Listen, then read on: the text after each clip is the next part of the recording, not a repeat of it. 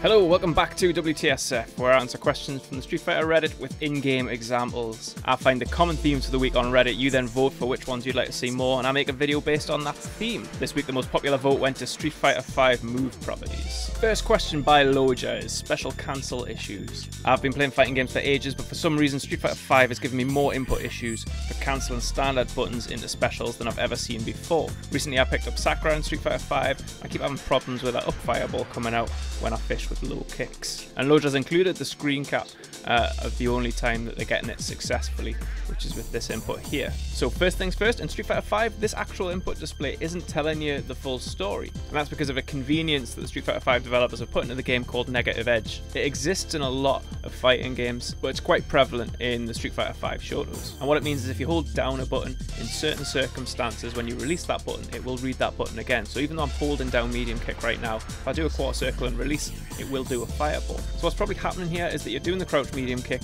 and the cancel all perfectly fine, but you're holding down the medium kick for too long. And what that means is when you're letting go of the medium kick to press the heavy punch, it's actually beating the heavy punch to the input window. This is a really common thing to see in Sakura play. So what you're hoping for is something that looks like that with a fireball going straight forwards. However, if you hold down that medium kick for a bit too long, you are going to get that up fireball, and at some ranges that will miss completely. So the trick here really is to just let go of the medium kick earlier. This is going to take a little bit of muscle memory. I would say as a rule, if you've started the quarter circle motion, you already want to be letting go of the medium kick. You'll notice in any cancel when you actually do do the input, and you'll see there we've got the down back right through the quarter circle forward that final input with the button actually duplicates the last directional input. And again, this is evidence of a lot of input leniency in Street Fighter V. It really wants to give you every opportunity to get your cancel in. Unfortunately for you right now, that's actually making it easier to accidentally put the wrong input in. The other thing is that you mentioned in the question that you're doing that because you want to fish from crouch and medium kick into the fireball. So you can use some of that input leniency to your advantage there and do really aggressive buffering. Buffering here being just doing the quarter circle motion immediately after the medium kick. Again, you're going to have to get some muscle memory in there to remind you to let go of it quickly. What that means is you can do the entire cancel into fireball in neutral, and if it's going to miss, it's not going to actually release the fireball at all.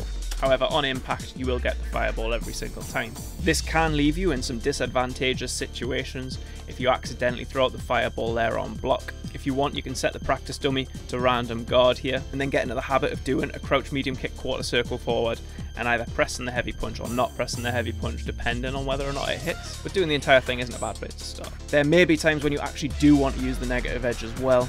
Can do a crouch medium punch and fireball with a single input, for example. And when you get into the deeper side of option selects and longer combos, stuff like that can really come in handy. Next question from Sing95 What can I do against people who just sit there and use crouch light punch as a barrier? I play Karin, I feel completely hopeless trying to deal with this tactic. It feels like they have an impenetrable barrier around them. My pokes get beat out and I don't know if it's something you can learn to do consistently, but personally I can't whiff punish light attacks. So the term whiff punishing there referring to doing an attack in the recovery frames of the opponent's move when that move is missed completely. And what you'll notice with a lot of light attacks is that the recovery window here is very, very small. So we've got Ryu's light punch there at 7 frames, crouch light punch recovery of 5 frames. Now when you take into account everything that's going on from the input delay, on top of that you've got the connection latency between you and your opponent, and then you've got your reaction time on top of that 5 to 7 frames is not really a reactable thing that you should be teaching yourself to whiff punish into. This has actually been a popular talking point this week for anyone watching Daigo's stream where he's been learning to actually whiff punish certain mediums on reaction. And even there, a lot of people are debating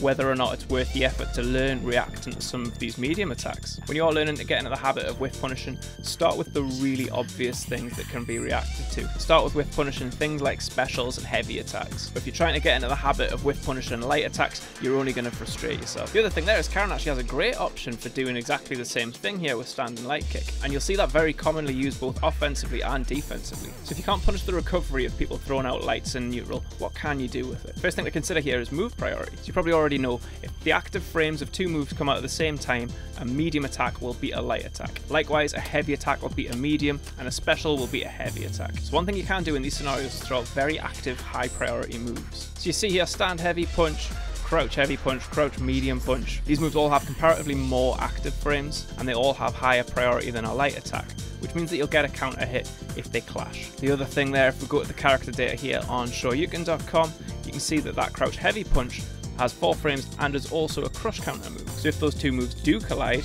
and you do get that priority, there's to be a crush counter and that's to put you in a great situation. With all that move property information on board, it becomes less about the actual move properties at this point and it's more about how you're actually playing. That means spacing yourself in such a way that you can do some of that stuff without getting punished for it yourself. Because the other thing there is if you are to throw out a heavy punch, you are to have a lot of recovery frames and you are likely to get whiff punished. And the other thing there is the old rock paper scissors. They're focusing on protecting you from advancing using lights, that means that they're focusing on their ground game. And it's important that you test that theory by jumping up. If you can't get them thinking about what's going on in the air, they're going to stop protecting themselves on the ground as well. So then you can test them advances again by dashing up or walking up.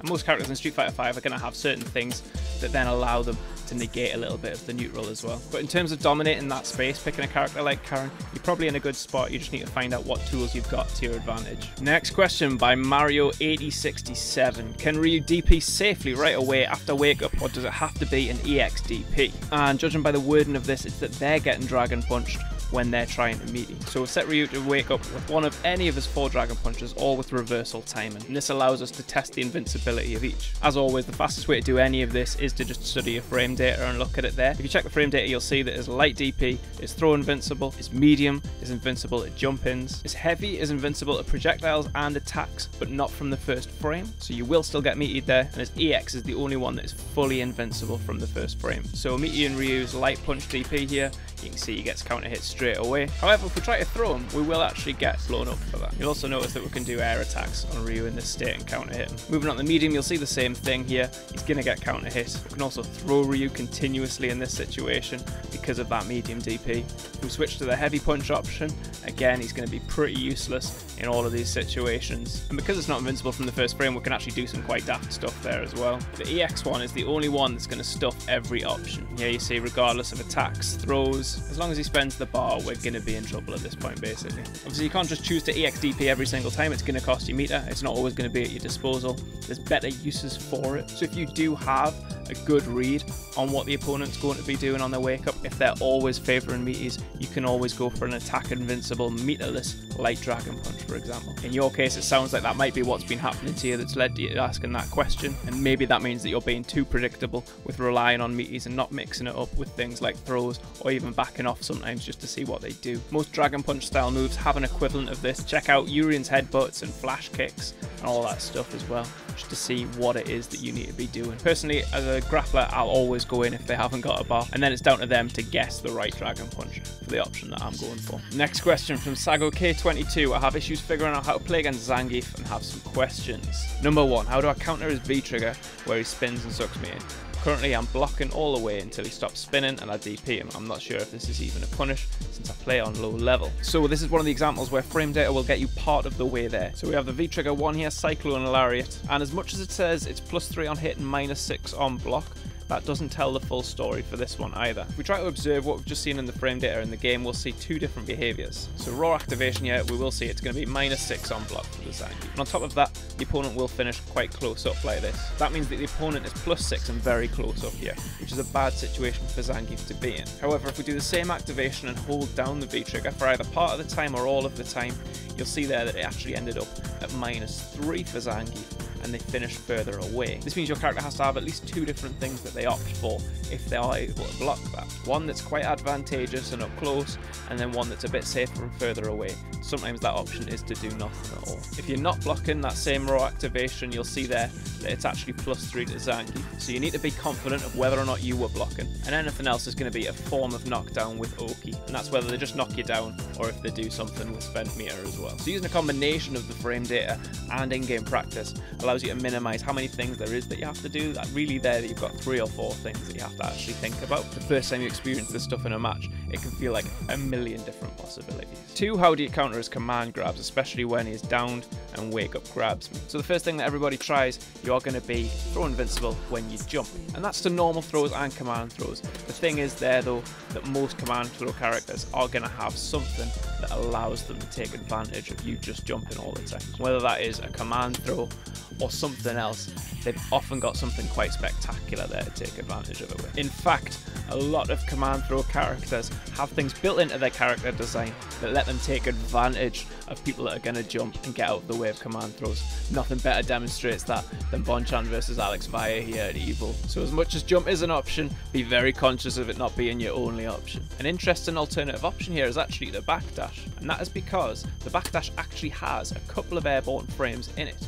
Although again, be very wary of that because there are a couple of very specific ways to defeat that too. And the last part there, when he's close to me or his command grab's guaranteed, his super seems unreactable up close. So command throws can't be teched for starters. If you're mashing your throw, it's not going to get you out of their command throw. And with the critical art specifically, you can see here it's one of the few moves that has one frame of startup and the first two frames are invincible. So if you're going to meaty or if you're trying to do a throw on them and they're waking up and they just mash that out, it is going to get you. Bear in mind that the same goes for the EX spinning pile driver here, which is throw invincible for the first six frames. So with some grapplers, even if you try to put them into a 50-50 with your own throws or even your own command throws, they might have an answer for that. Unfortunately, as with most things against grapplers, there's not going to be one perfect solution to these problems. You're going to have to measure the temperature of your game.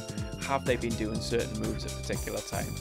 Do they have meter? You're going to have to take all of that information on board. And last one here by Starsheep. Does anyone know the frame data on how long each charge character should charge? I know it's different for each character, but I can't seem to find anything that shows how many frames each one should be held past the base game charge moves. So first things first, on FAT online here, you just have to click on any of these moves and you can actually see the charge times from there. So if we go to somersault kick medium here, you see here in the extra information takes 45 frames to charge. Nice thing with Guile there is that that is very universal. If we go over to Chun-Li here, you'll see spinning bird kick here, takes 40 frames to charge on the light and takes 45 frames to charge on the EX spinning bird kick. So it's not just different between each character, it's also different between some moves with some characters. It's particularly important with Chun-Li, where the properties of a normal spinning bird kick are completely different from the properties of the EX spinning bird kick. The last thing you want is to reach for your anti-air and get a normal spinning bird kick out instead of the EX. And that is everything for today on WTSF. We've now hit 100 subscribers on this channel, so thank you very much for that. To celebrate, I'm going to give away either a copy of Ultra Street Fighter 4 or Street Fighter 5, again, whichever one the winner chooses. All you have to do is leave your favourite Street Fighter win quote in the comment section below on this video, and I'll do a draw on a stream later this week to give away a Steam code for that. So I'll either see you in that stream or I'll see you next time.